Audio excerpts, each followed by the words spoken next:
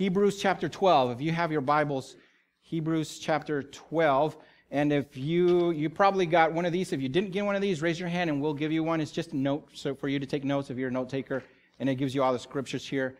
Uh, Hebrews chapter 12, verses 14 and 15. And today is the last uh, part of this series called Out of the Heart. And uh, we've been dealing with a lot of really tough issues uh, like pride and envy and all this stuff. And today is bitterness. Today is bitterness. And it's, it's kind of funny how you guys came back with this message of, hey, uh, take care of each other, are the relationships that we have. And bitterness is one of the things that destroys that, those relationships. Bitterness can quickly destroy the best of friends. Uh, bitterness can destroy marriages, can destroy uh, tight knit families. And so we as Christians have to really take care of uh, the bitterness within our hearts. So today, if anything, you're going to find out whether you're a spirit filled person or you're still struggling with your carnal nature. Uh, Paul talks about that if you want to read it in chapter 7 of Ephesians, uh, Romans, chapter 7 of, of, the book of Romans. And he talks about how we struggle with that. And, uh, and if, if, if you're not at the point where you've allowed God, and we, in this series, we've talked about this, allowed God to really just come into your life and take over. That was the la- last week's uh, uh, message was control. You know, just take over, give Him all the control. Uh, then, then if you don't do that, then you're always gonna be fighting this uh, sinful thought that you have, sinful uh, reaction that you have as a human being. We're all born in sin, and so automatically we we are selfish and and uh, we want our way and you know, and as we get older and we, we, we fight for that, don't we? We fight really hard for getting our way. We fight really hard for our voice to be heard. And, and so along the way, we forget that as Christians, and so if we are followers of Christ, that that isn't something that we ought to be practicing with each other. That we are to be practicing the fruits of the Spirit, which is love and compassion and all of these beautiful things that sh- should come out of our hearts, our minds, and our mouth when we're with each other. And so, how to test that is uh, and you don't even have to worry about when or how to test that. It, you're going to be tested.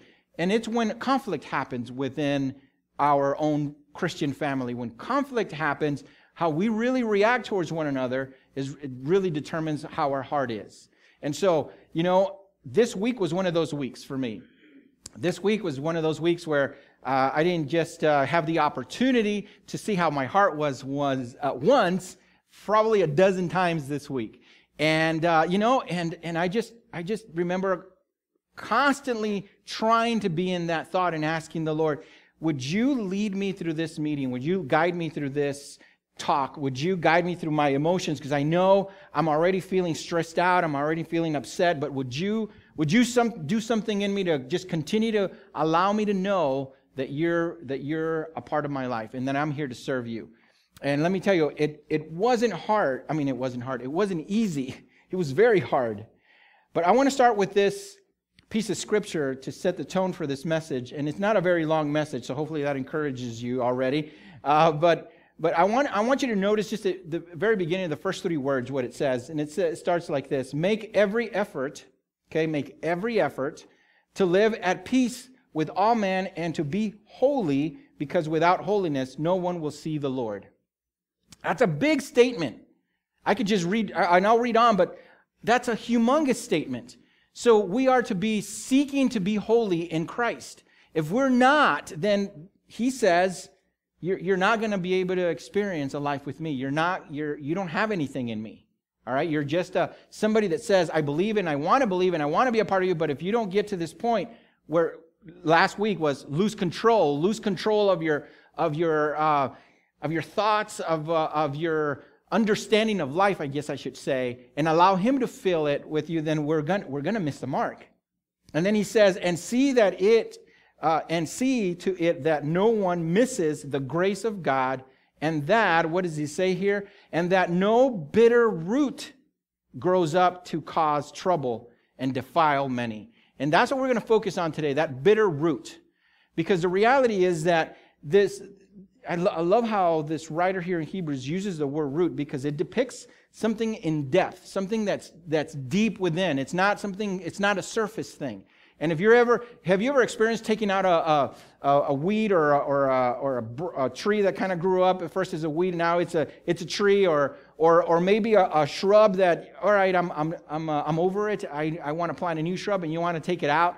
And it's really difficult if the roots are really dug in, right? You have to start digging deep with a shovel or, or, or get a tractor or something and, and pull it out from the roots. If not, it's just going to grow back again.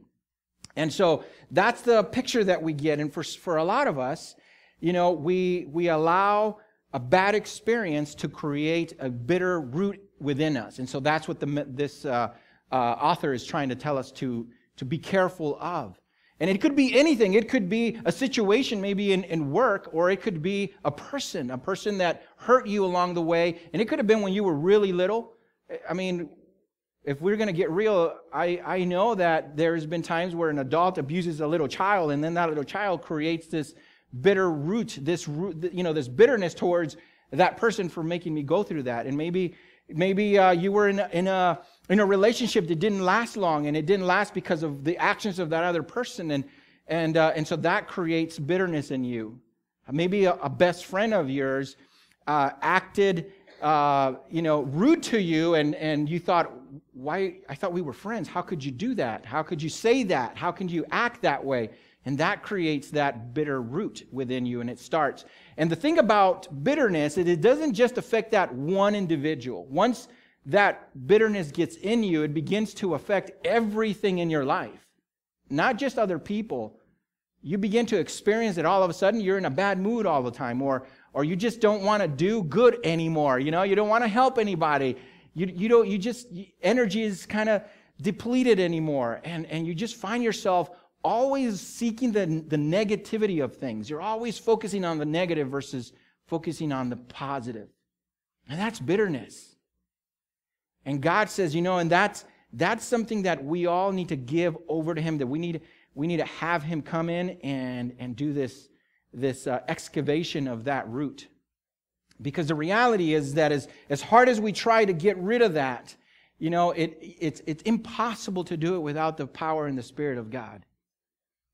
Make every effort to see that no bitter root grows up in your heart. If you're taking notes, there, uh, bitterness contaminates everything. It, and it, it doesn't. The, when I was thinking about that, I remember living in Georgia and uh, noticing that there was this uh, weed, I guess. Uh, well, I, I, guess we want to, it wasn't always a weed, it was a beautiful plant. And it's called kudzu. Anybody heard of kudzu? Kudzu? Yep, you guys that have been to the South, you know exactly what I'm talking about, don't you? So this was uh, brought from Japan in like the 1800s. And they thought it was just a beautiful plant and it would look good in the garden, kind of like ivy, something like that. But this plant has big leaves and really thick uh, uh, not roots, but uh, vines that are really hard to break. Uh, and then it also produces purple, beautiful flower, and it smells good. So they brought it in, and then they see it just take over and grow really fast. And so they thought this would be a good plant for erosion purposes. So then they start planting it everywhere in the south. And, uh, and I got a picture. Do, do we have that picture of kudzu up there? There it is. If you can look closely, there's a house in that picture and that root just took it over. That's kudzu right there. And it goes up posts and lines and it just, it just kills everything. It destroys everything in its path. And it grows really fast. I mean, if you don't, if you don't prune it, if you don't watch it, you know, before, before long, you're like, how in the world did this get like this? And that's kind of like bitterness. If we don't take care of bitterness within our hearts and in our lives, before you know it, it's really taking control over a lot of part of your life. The way that you think, the way that you speak, the way that you see other people, the way that you, you know, uh, a, a lot of people say, I don't trust many people anymore. I don't have, I don't have faith in people anymore. That comes from bitterness. And if you don't be careful, then it just, it takes over your life and it really ends up killing everything that's important to you not just that one relationship. So today I kind of want I want to talk about that. I want to talk about how to, how to take care of bitterness in our heart. And the Bible tells us how exactly to do it. So if you're a follower of Christ, you're, you're, you're can't, you can't wait to hear it because you want to learn how to do this. If you're not, if you're here visiting and you don't consider yourself a Christian or a believer, then, then you're going to be like, yeah, I don't want to do that. That's, that's just stupid. I will not uh, succumb or submit myself that way because that's just, you, you're going to think it's just more pain. And the opposite is true. This past week, uh, my, my seven year old daughter, Annika, brought over a friend after school, uh, just out of the blue. This little girl says, Hey, I'm coming over. Okay. Parents were okay with that. So we brought her over and they went into Annika's room and they were playing with dolls. And you know how you girls do, right? You, you just take everything out of the closet. Everything has to be out of the closet dresses and shoes and Barbies and everything else. Yes, Rochelle, I said you girls, all right? Just deal with it. And, uh, and so she was done. Her little friend left, and now her room is just a mountain of toys. And I looked at it and I said, okay, you're going to clean that up, right? She says, yeah, I'll clean it up. Okay, great. And so then the next morning we wake up and we, we get ready, get the kids ready, and I walk in in her room to get something, and I'm ste- overstep, stepping on dolls and, and little, uh, little little shoes, uh, high heel little shoes like this big, and man, those dig in your feet and the bottom of your feet really well. Uh, so I'm, I'm having to overstep all of this stuff. And so we're at our, the breakfast table, and I said to her, I said, Annika, I thought you said you were going to clean your room. And she looked at me and she was very serious about this. And she said, I know, Daddy, but I got really busy yesterday. and I looked at Denise and I just, oh boy, I wanted to laugh out, like laugh like you just did. And, and so I just took a breath and I said, Really? I said, Tell me about your day then. And she said, she says, Well, I, she says, we got home from school and uh, mom made us go to the park. She made you go to the park to play. And I said, Okay. And she said, and then we came back and I was going to clean the room, but Evie got sad. Evie is her sister, five years old, because I was going to clean my room and she wanted to play. So I thought, well, I'll play with her first. So she played with Evie for a while. And then dad, and then mom asked me to help her make uh, hamburger patties for the rodeo, you know. And, I, and she said, and so I couldn't say no to mom. And, uh, and so she helped. And then by the, by the time we were done, it was time for me to take a bath, brush my teeth, and go to bed. So it was a really busy day. And I said, wow, that is a busy day. You're, you're so right. I said, but would you be able to have time today, you think, to clean your room? And, and she said, oh yeah, today, after school, I will, I will get on it. And, uh, and she comes home from school and, and I just, first thing, even before she dropped her book bag, I said, what are you going to do next? And she said, oh yeah, I'm going to clean my room. So she went and, and she cleaned her room. But in this, in the same way, you know, it's, clean her room wasn't going to be fun. It was fun making it a mess, but it wasn't going to be fun cleaning it because now she's got to remember where everything goes and mom's a Marine and stuff got to go where they got to go. And so, so she's not enjoying that at all. And, and, and she's, she's trying to put it off as much as possible. And I, and I think when we have these things in our hearts, specifically bitterness, because bitterness comes from, from, uh, from hurt, from somebody really hurting you. And so when, when it's in there, the last thing you want to do is, is deal with it. Because if you, if you deal with it, that means you gotta, you gotta remember who it was. You gotta think about that person. And that's the last thing that you want to do because when you, when you left that person alone, if it, if, if it was a person who caused that bitterness, you thought, finally it's over. I will never ever have to think about that person again. Never will I waste a moment thinking about that person again in my life. And if you're a follower of Christ, and he's like, okay, I, I get that, and I know that you used to be that person, but now you have new life in me, and guess what we're going to do? I, I need you holy. That means I need you cleansed. I, I need you brand new for me. And so, the, if you're taking notes, this number one, expose the objects of your bitterness. Ephesians chapter 5, 11 says, with, with fruitless deeds of darkness, but rather, he says, or have nothing to do with fruitless deeds of darkness, but rather, he says, expose them. Expose them. And, and that's the one part that maybe it's going to be really difficult for you to do. And unless you're able to do that, you're not going to be able to move on to the next thing and the next thing. Exposing that alone takes a lot, I think, a lot of strength. It takes a lot of effort in your part. It takes a lot of willingness. It's kind of like, I go, oh, I got to go clean my room. Okay, here I go. And God says, Edgar, now I know you've got bitterness and, and I know, I know that uh, you remember where it comes from. And, and part of your notes, it says bitterness, um, uh, with whom or what are you bitter? And I, I kind of want you to write something down in there. Um, as I was thinking about that, I, I had a big list. It wasn't just one thing. And I thought, oh man, there is a lot in there. And I've got to figure this out if I'm going to continue to be served or uh, to serve the Lord, to be used by Him. But that alone, to, to remember that person, what they did to you or and to me, is, is hard enough. But that's the first step. God wants you to be able to do that. And as soon as you do that, then God says, okay, now that you've got that person on there, you, you got you, you got that picture, you got that name, you got that face in your head, in your fit, in your mind. He says, now I want you to forgive them. I want you to cancel their debt.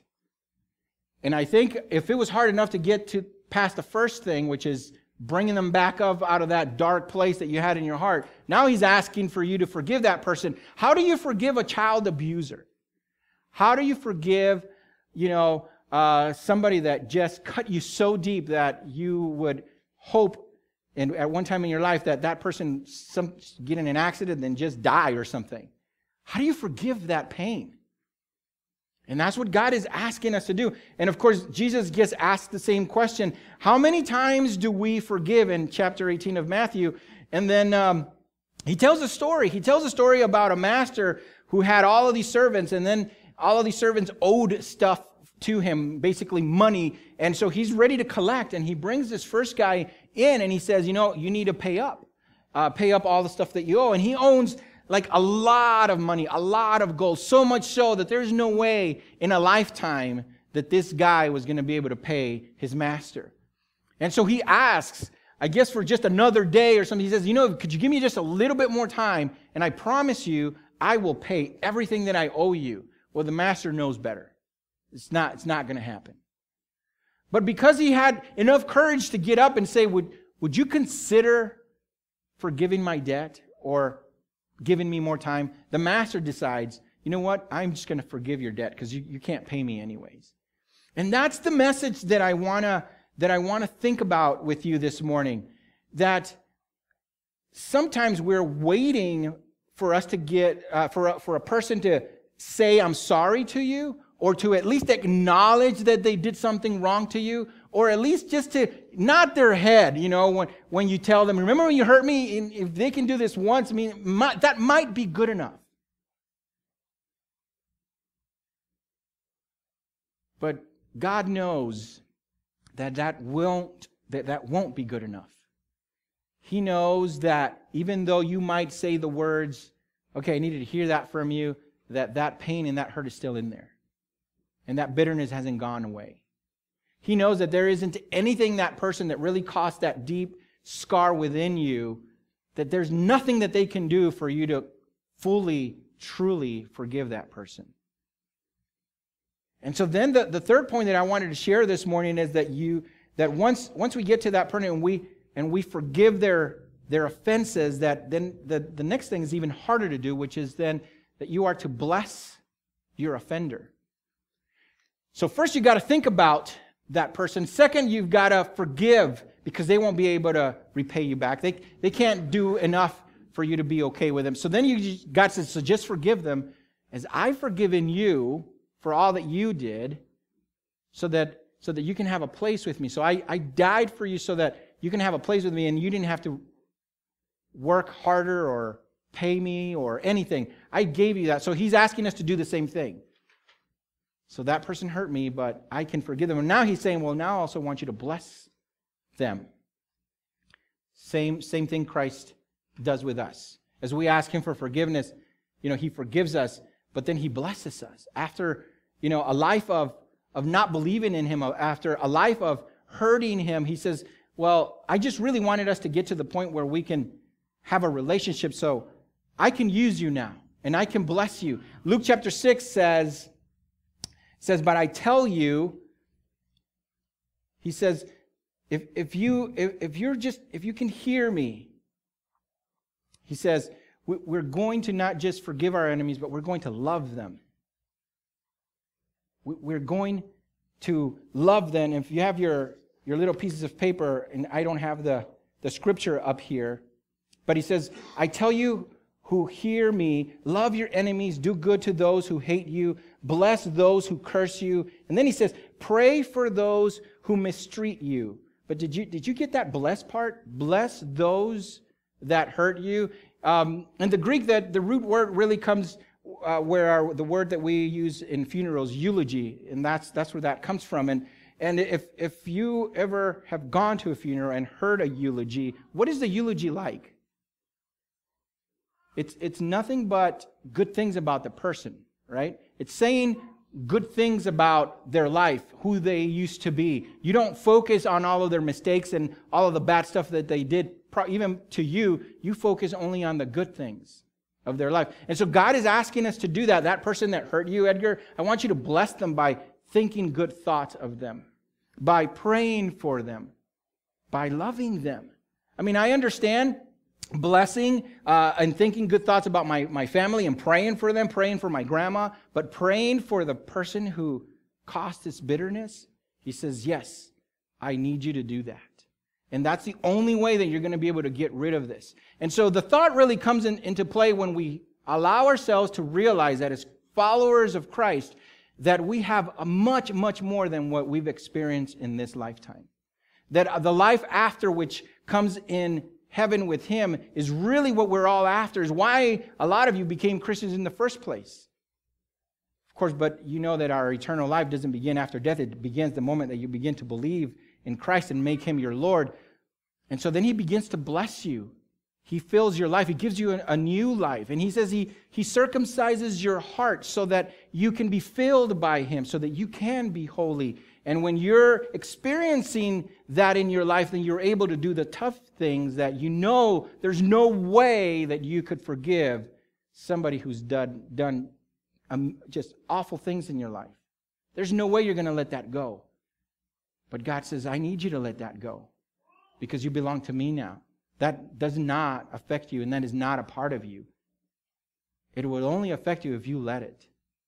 So this, more, this morning, it's, it's, it's about letting that, that uh, letting God come in, into your heart and excavating that root out of bitterness. And of course, my list is, is not just one or two names, but my list is a little bit longer. And so what I've done is I've said, Lord, and I, and I, in my prayer, I've, I've named these people. And I've said, Lord, would, will you forgive me, first of all, for holding on to that bitterness? because of the, of the hurt that they did to me and my family. And, and I've been holding on to that for so long, and I, I know that I needed, needed to let it go, but I just didn't know quite how. Because I've prayed about it, and I've been cordial with them when I see them, but I know in here, I'm still holding on. And so finally, I was able to pray this prayer and say, Lord, would you forgive? And I'm releasing them to you and I have forgiven them. And now I'm, I, I will create opportunities to possibly restore that relationship with them. That's going to be the goal for me. Not just to release them and now I get to, I don't have to think about them anymore. No, I need to release them. But then if I'm going to, if I need to love on them, if I need to think about them as he's asking me, if I need to pray for them, then that means they're going to be a part of my life. So my goal is to restore a relationship with people I used to think I didn't ever want to see for the rest of my life. So if that's you today, I'm going to ask that you think about that and that you give God the opportunity to fix that, to change your heart, to change your mind about those people.